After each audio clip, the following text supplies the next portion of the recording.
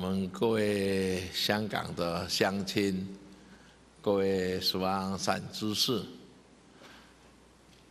居住空间里面无所不包，啊，无奇不有。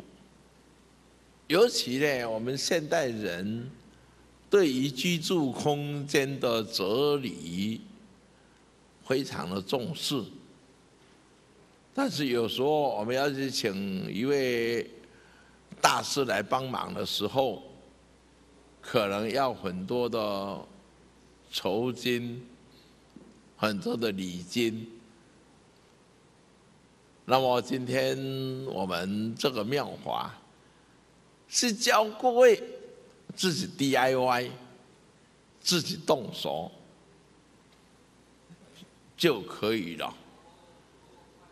啊，尤其呢，我们在做生意的人、做事业的，办公桌非常的重要。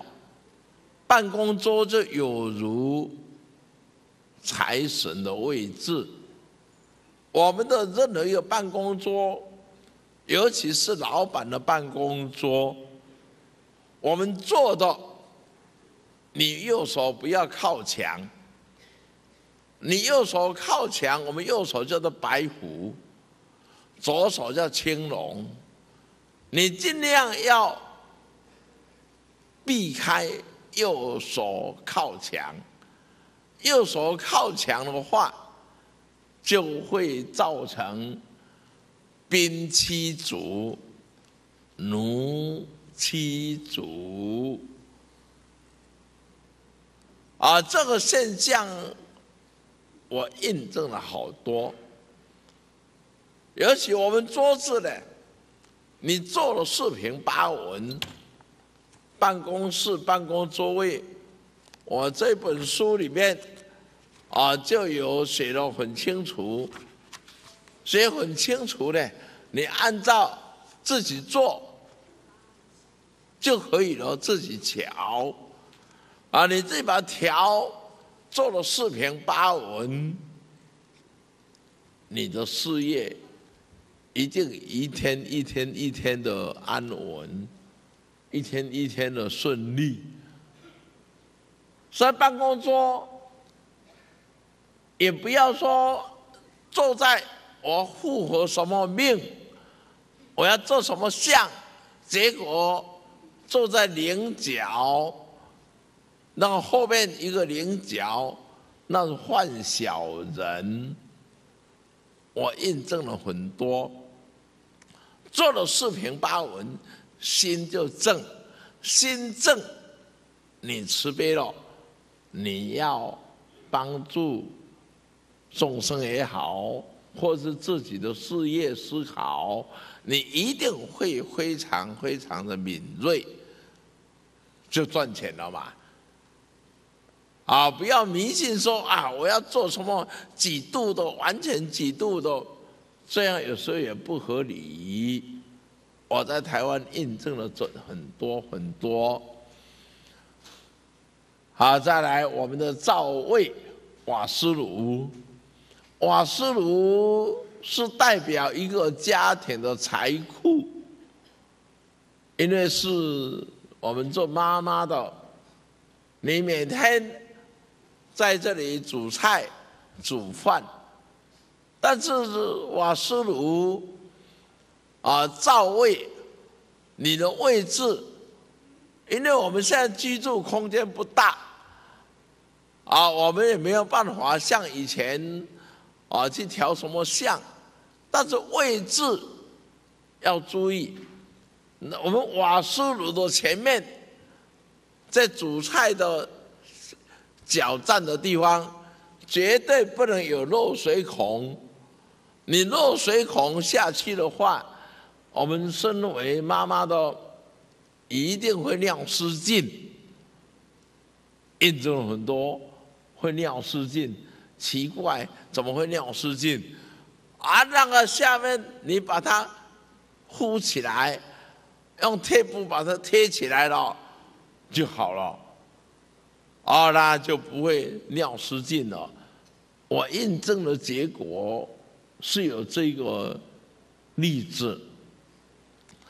还有我们瓦斯炉，你在煮菜的时候，瓦斯炉呢，不要面对着厕所门。我们的厕所门一对出来呢，全家感冒多，都支气管，胃都不好，会影响到我们的胃。所以，我们装潢设计师的朋友们，你们一定要注意。啊，你不要说，哎呀，这这随随便便的画一下，对着厕所门也没有感觉，结果住的人灾殃就来了。这也是要注意的。我们的灶位绝对不要去压粮，灶位上面有梁一压着灶位，全家不平安。而梁压在煮饭的人头上，头昏脑胀，啊，颠神魂颠倒。哦，那怎么办？你天花板把它补起来，那就好了。不然瓦斯炉灶位呢，你若是压到梁，家里不平安，你身上有多少钱，鬼都知道。哦，这个呢，我们不可以忽略了啦。哎，我们赵位，你不要对着孩子的卧室出来。赵位对着孩子卧室出来的门呢，啊，小孩子多感冒。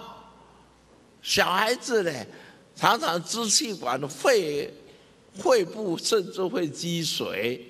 我在台湾验证了也很多这个案例，啊，或是瓦斯炉灶位对着主人的卧室，啊，那会变成你咳嗽不完，啊，那你等到你发现的时候，已经是第四期的肺部问题的啦，啊，这个的居住空间，我们很容易去忽略的啦。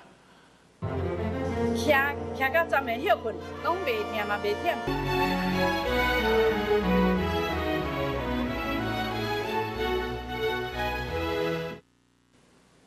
还有我们现在那瓦斯炉，你在煮菜的地方煮菜，瓦斯炉对着一个水缸，你屁股对着水缸呢，那家庭呢，那个夫妻不和，孩子不和。啊，反目争吵的事情，水火不相容了问题会很多，常常会发生。这都是我们人所容易忽略的问题。啊，我们的赵位呢？呃，有的人说：“哎呀，你什么命？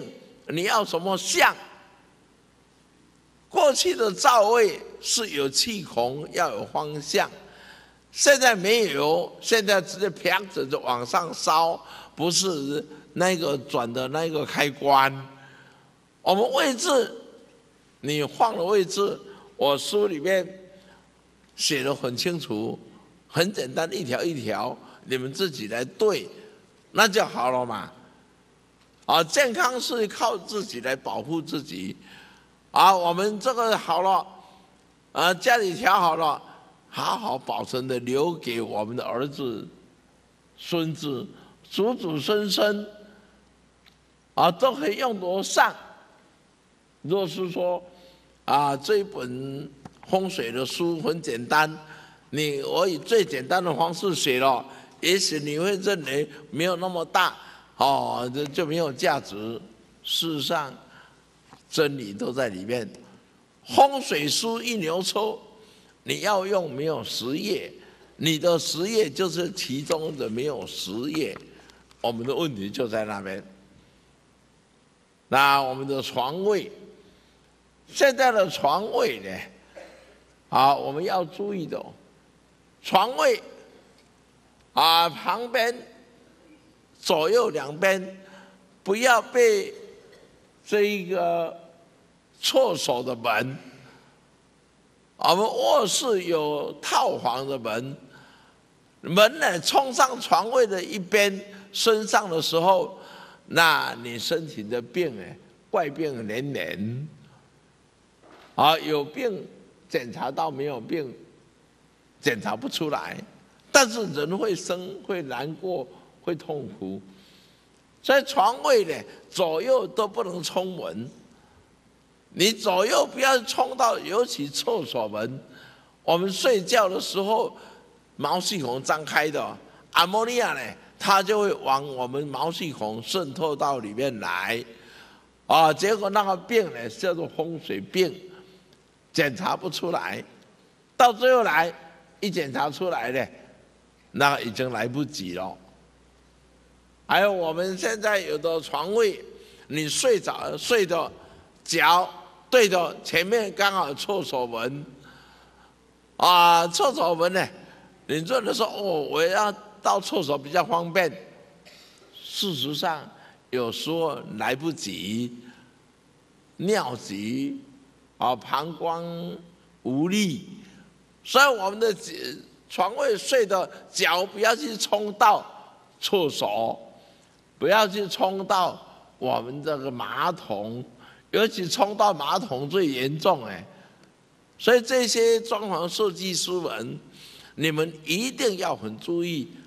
那么我们身为我们每个人平安是要自己来保护的，我们能避开，自己可以避开。呃，这建筑师、装潢设计师没有注意，我们要留心。哦，所以床位，现在我们居住空间都比较小了，有的床铺下面呢，你就塞了很多废铁、废弃物，结果我们的腰酸背痛会很多，这要注意哦。我们床的下面。不要塞一些啊杂七杂八的，尤其有铁质之气的杂七杂八的，那会伤你的腰，啊腰酸背痛，检查又没有病，甚至肾脏会衰竭，甚至肾肾脏衰竭的时候，你要再来吃药也没有用了。哦，所以这个都是我们防患于未然，欲取无所生，不要让这些问题去发生。那你必须要了解风水学的奥秘，尤其在香港高楼林立了，在香港的建筑物和一般乡下的建筑物的风水啊有所不同，但是。空间里面的哲理，空间里面的智慧，吉凶祸福完全一样。床位曾经在台南，啊，有一家女中的总务主任，我去他家呢，帮他看了改学校大门以后，啊，我去他家呢。看到他孩子的卧室，我说你孩子膀胱失禁了呢。他是啊，吃一餐一顿饭呢，厕所要跑三遍，上课呢啊上一节课要跑厕所跑四遍，怎么办？不知道什么原因，吃药没有效。我的床位，啊，小孩子床位一睡觉，脚对面。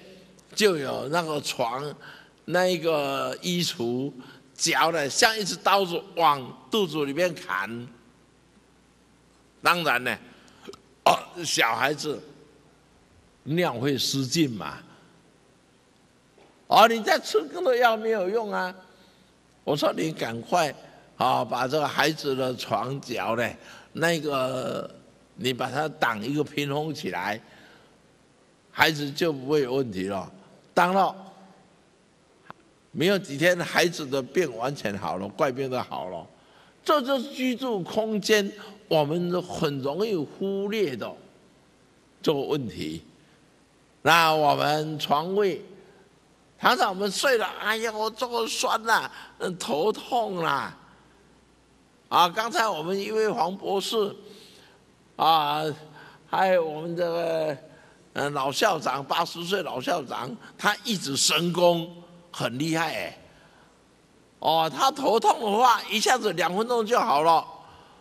我相信他的一指神功功夫好的不得了。我们老校长，啊，但是有的呢，你这风水病、居住空间的问题，你睡了床位旁边有书桌角来射到这里，头痛不好不了，或是我们的。衣橱的角像一把刀子往这里砍，你脑部里面注意会长瘤，哦，或者床头柜两边都高起来的，高起来的那个脚呢往你这里一射，头痛啊！你再怎么医也没有效，怎么办？把床拖出来，或是把床位两边呢。改善一下，那就好了嘛。山不转路转，路不转人要转。你要转要有法才转得了哎。本段节目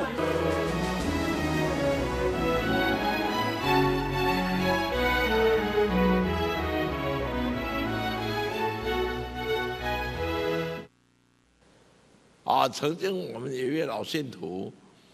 啊，他的舅舅就心脏病嘛，啊，心脏病呢，吃什么药都没有效，啊，这结果呢，就是他在泡茶，喜欢泡茶，前面有一个这滚球，圆圆的艺术品，很漂亮的球在那边滚，在办公桌的前面一直滚，二十四小时不停。那就是心心脏病啊！我说把那个球拿到旁边去滚呐，叫他滚开就好了啦。拿的拿开了，心脏病好了啦。哦，不然你再怎么样，什么药也没有用。哦，所以我们有什么病，都是和我居住空间有相当相当大的关联。啊，曾经我们有一位啊，在台中空军的啊某一个医院的院长，他的儿子一天流鼻血流五次，用喷的，自己医不好，而且烧烧也一样造成医不好，啊，原因在哪里？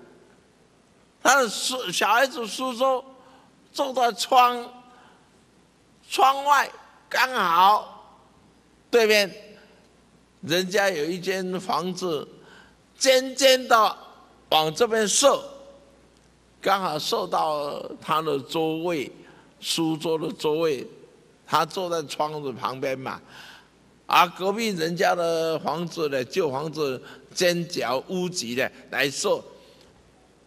所以时间一到，哇，鼻鼻血流不住的，我告诉他，赶快把书桌移掉。好了，移书桌移了就好了嘛。那这一位主任呢，他就回去就把孩子的书桌移到旁边去了。第二天也不留了，好了。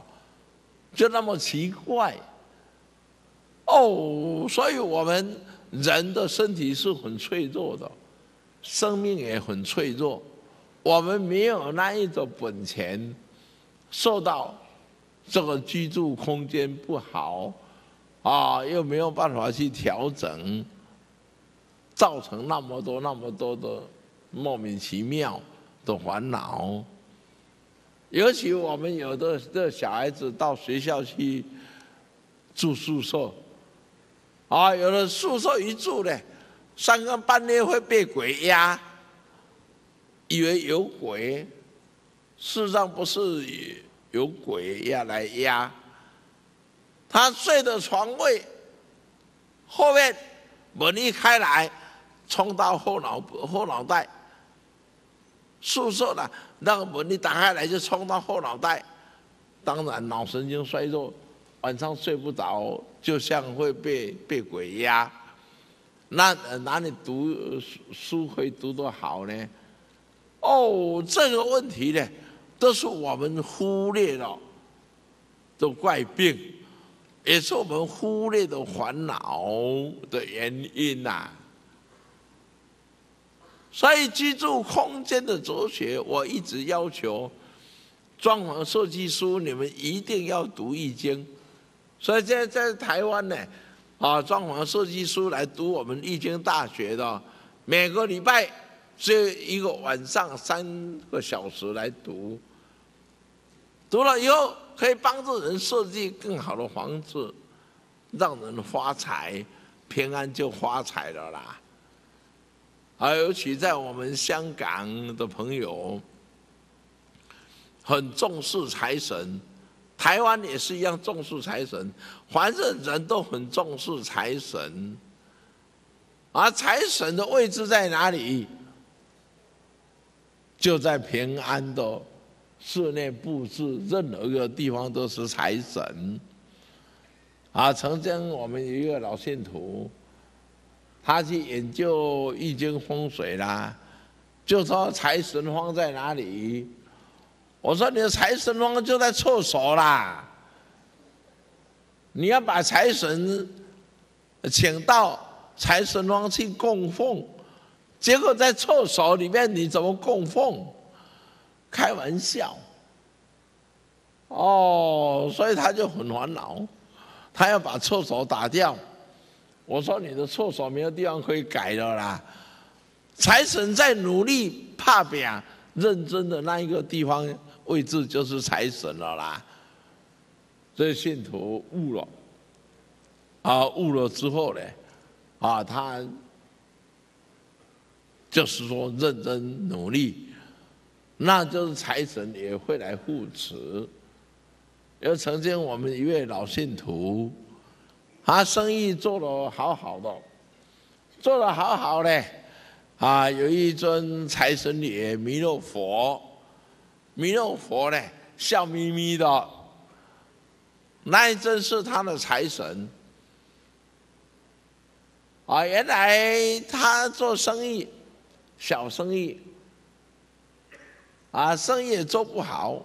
我说你那个财神早上起来要出去，呃，肚子摸一摸，啊，你就生意会更好，就赚钱。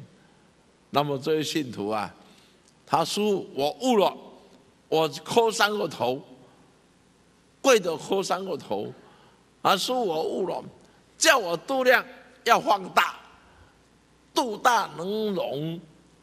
古今愁，啊，宰相肚大能撑船，船里面都是金银琉璃之宝，所以他原来做生意度量都不够，而此后呢，他做生意、做人处事呢，度量放大，开始生意好的不得了。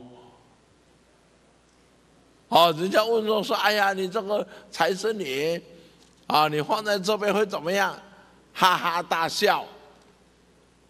所以财神爷就在宽广的度量，这就是财神爷的真实意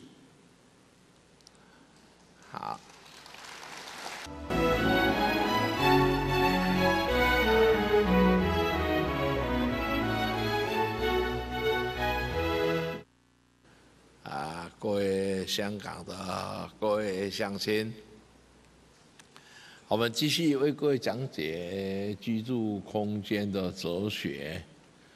俗话说，命好比什么都好，命好就不一定要风水了。三分之一命三分之一打拼，三分之一风水，这是非常正确的哲理。你命好，不行功立德，还是没有用。而你行功立德，命好，风水不好，那你还是会遭受到很大的挫折与失败。啊，在六年前，台湾有某一家公司，啊，董事长命很好。也很慈悲，很仁慈，也做了很多社会公益。但是公司四年亏了一百六十多亿，公司几乎快宣布倒闭。刚好他的公关处长啊，一个姻缘。就来请问这个问题。我说那，他那个公司在深圳，这是有问题。那好了，我回去看一下。啊，看了结果呢，你北门不要开，开南门就好。北门堵起来，南门开。南门水神好，风水好，而且有朝天水，而北门有煞气，北门封起来，很快你稳下来，哦，所以董事长他就好，第二天就叫员工赶快把北门砌起来。全部改走南门，经过三年多，一百六十多亿，全部平了，大平了。公司员工二十几万个员工，家庭有薪水可以领，可以养养家，所以命好。当然，你命好又有行功行功立德，你可以遇到上善之士帮你忙。啊，那那么有的人说：“哎呀，命好不一定要风水呢。”刚才这个是一个例子。啊，这么多年了，台湾的华航。呃，原来四年一次灾难，大家都很清楚。在十几年一个一年，啊，董事长啊就来请教，我说你把门改了啦，门有一千斤，房子只有只有四两重，啊，房房子的门。办公大楼的门，啊，原来你在东南方，那个东南方那个气口就错了，你改到西南方来，啊，这边气口在那很旺，悬空哀星旺八运九运还有一运都在旺，啊，所以按照我建议的改了，那就稳下来了。所以各位到台湾的时候，你们看到华航园区在中，在桃园机场出来那里，华航园区那个办公大楼是我帮华航设计规划的，按照风水学规划的。那等着大家平安哦，我们坐飞机了也安稳嘛。这个就是风水学。我验证了很多，还有都说啊命不好，风水再好也没有用，这个想法太消极了。风水就是居住空间。你进入这个居住空间如华的居住空间，你就会精神舒畅，你我们的智慧就会打开来，我们的想法就会很稳定，就有如我们香港昨天我去参观的参拜的智联。啊，禅修院、佛寺，它整个的风水依照风水设计的。当我们头脑不清醒的时候，去那边走一走，熏陶熏陶这个灵气出来了，头脑清醒，你再打拼也会很顺利。同样的道理，我们的家风水学。啊，你命再好，违背这个法则的时候，你再怎么样还是百事不顺。因为你大人，我命很好，家里的孩子命不一定跟你好那么好。哦，所以空间，空间的哲学是决定一个家庭的顺利与不顺利。我印证在台湾。非常非常多的实力，所以我在台湾印证的实力的一一把它汇集起来，现在大集结的像这么大的书，就有一万多册、一万多本的智智慧在里面，哦，所以。有人说：“哎呀，风水不重要。”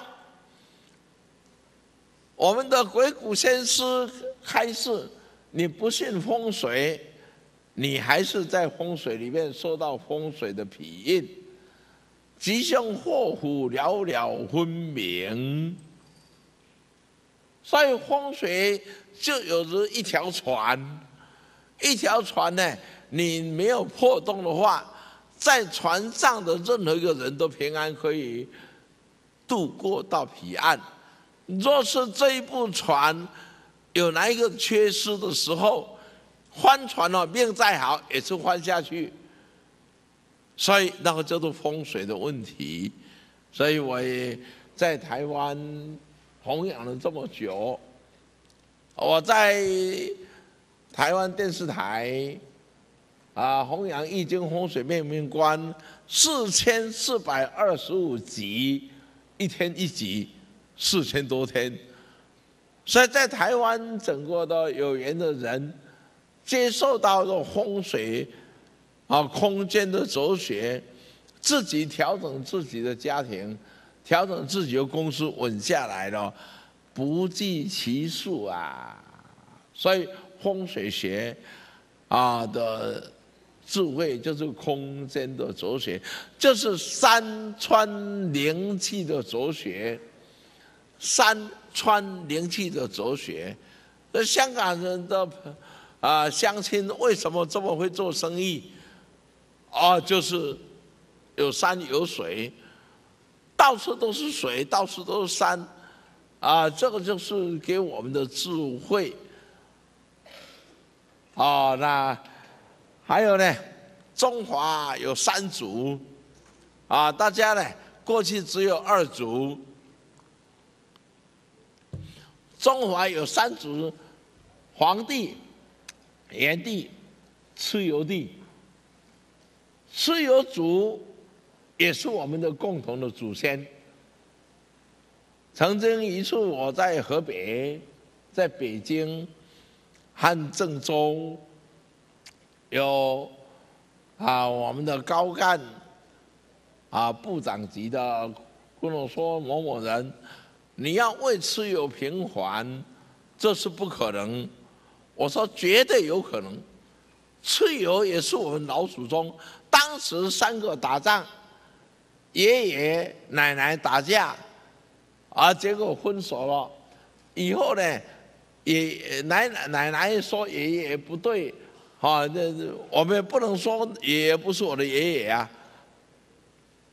哦，奶奶也不是说不是我奶奶呀，我们都有多生的交叉重叠转世，我们投胎身体，我们的灵性永远是中道的，我们的身体投胎的身体，不同的家庭，不同的时代，不同的因缘，所以我们的身体。投胎，这基因 DNA 啊，五千年的 DNA 不可能正道，所以我们的灵性啊，到世界上来，你三族都是我们共同的祖先，黄帝、炎帝、蚩尤帝，都是我们的祖先。新装潢，新风貌，新体验。惬意绿园修，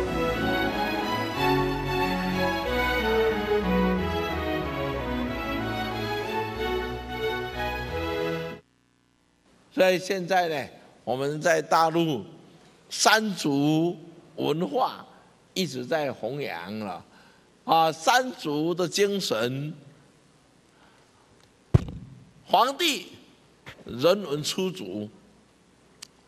是讲究我们的人文文化，神农他是天医啊，医药农业的我们的祖先啊，蚩尤是工业始祖哎，工业始祖蚩尤是易经文化传承者，是从蚩尤来哦，所以这我们身为。三祖的后代祖孙，我们应该有这个共识。所以现在整个中华文化道统是由三祖而来：皇帝、炎帝、蚩尤帝。皇帝的精神，他就是相亲相扶；神农帝的精神。啊，就是要用贤养贤蓄才。啊，我蚩尤帝的精神就礼贤下士。当我们事业成功的时候，我们一定要多做善事来回馈社会大众。啊，那就是要礼贤下士。所以。鬼谷先师王禅老祖传这个妙法，告诉我们要追根溯源，所以我们每年一月一日在台湾林口大体育馆都有举办中华民族年头祭祖总会。那我们请问我们香港的乡亲朋友啊，我们知道。中华民族五千年来有多少战争吗？三千七百六十二次大小战争。中华民族五千年来三千七百六十二次大小战争，啊，有九百一一十七位天主帝王。我们的姓氏不是百家姓。是万家姓，有一万五千六百一十五姓氏的列祖列宗祖灵，我们的同一个根，同一个水源流到现在来，有一万五千六百一十五个姓氏，列祖列宗的姓氏，可见我们都是一家亲。即使当下我姓张，啊，你姓李，他姓蔡，他姓杜，我们都是一家亲的，同宗同源同祖德，啊，只是一时的啊住在不同一个地点而已。事实上，我们都同一个祖灵，所以我们要相互的尊重和尊惜。所以本人在台湾。啊，修道的结果悟到了，我们都是同宗同源同祖德的同根源的，啊，兄弟姐妹的乡亲，啊，《易经》就是老祖宗所留下来的。当然，在台湾，我们一群爱好中华文化道统的上善知识们，啊，都很用心的将《易经》风水啊的哲学呢，把它开发出来，成立了《易经》大学，《易经》就是大学，大学在《易经》里面，叫做智慧。所以，我们今天有这个缘来到贵宝地，啊，来办这场易经风水居住空间哲学的妙华来会有，啊，希望未来我们有后续，我们大家续缘的因缘，也需要啊仰仗着我们李教授、李博士和各位博士。啊，各位一些我们的乡亲，还有我们的刘主席啊，共同来推动中华文化易经，是一部保家卫国的宝典，保家保民主平安的宝典，居住空间的哲学，易经与风水学的妙法，啊那。所以，我们易经风水对于我们大家会不会平安的问题，啊，我也希望各位呢，我们有机会呢，我们今后多做交流，也希望这里有机会呢，我们易经大学也能够在啊贵宝地呢，啊有一个空间可以来这里啊传授这个妙法给各位，啊大家以法会友，啊相互的研究。只要大家平安，就是大家的福气；大家的健康，就我们大家共同的福气。啊，刚才我们讲到床位，啊，接下来我们就要讲到神位。神位是一家的精神依归的地方，而任何一位神，他都有他成道的道理，都有成道的真真理。比如啊，我们香港做生意的朋友，那么多都喜欢拜关公。关公是正气，做生意就是要有正气。啊，那有正气的，当然呢，我们百事通嘛。啊，我们台湾的朋友，呃，大陆朋友、香港朋友这么多，都是一家亲。啊，大家学习关公的正气的。我们做事业一定顺利嘛？啊，有正气，妖魔鬼怪绝对不会侵入我们的家庭，也不会侵入我们的内在心灵的空间。所以，空间是大无其外，细无其内，大大到像宇宙虚空那么大，小小到我们心灵自己的感觉都是一个空间。啊，所以神位？啊，我们的位置呢？啊，我这里也写得很清楚。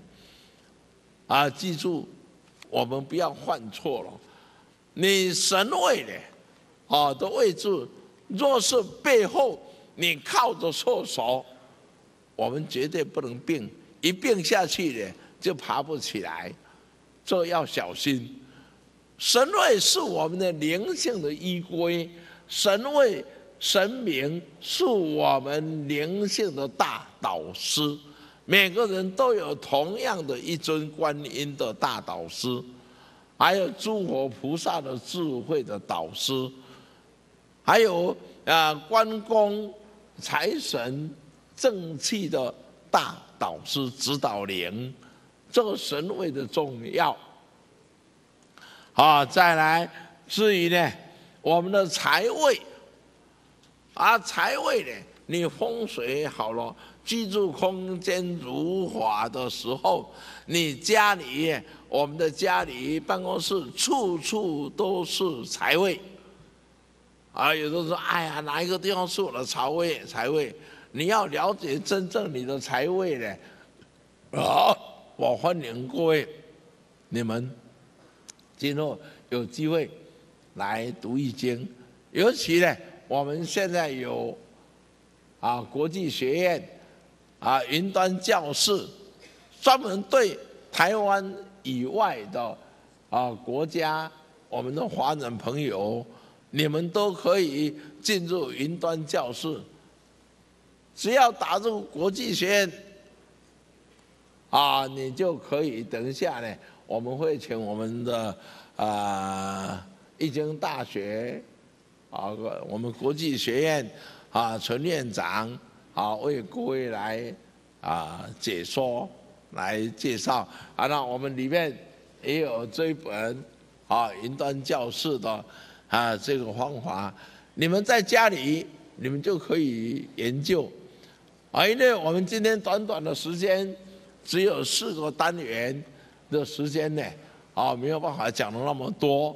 若是各位我们乡亲朋友们啊，你们有兴趣来研究啊这个中华文化道统易经风水居住空间的哲学的时候，欢迎大家呢呃进入我们云端教室啊这里来，大家一起来学习啊没有限定时间的啊，尤其呢我们有的同学呢。他说：“哎呀，我一时学不好，你可以一直看，一直学，学到好了，自己可以保家、保事业、保健康。哦，这个例子太多太多了啦！啊，唯愿呢，啊，我们今天在这里的以法会友，啊，未来能够收到我们继续这个好缘分。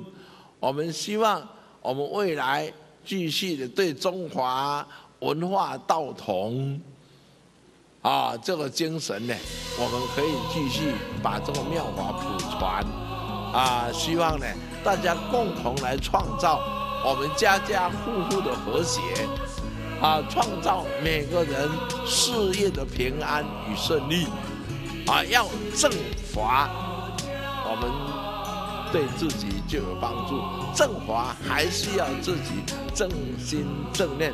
我们来研究、来学习、来研究，啊，今天呢，啊，也因为这一年呢，啊，我们非常感恩，啊，在座的各位给我们扶持的所有的好朋友们，欢迎有空到台湾，啊，我们也感恩李教授，啊，在这里祝福各位乡亲，祝福各位平安顺利，大家赚大钱。经是大学，大学在易经，为心信教，尊天法治，为国修德，为民祈福。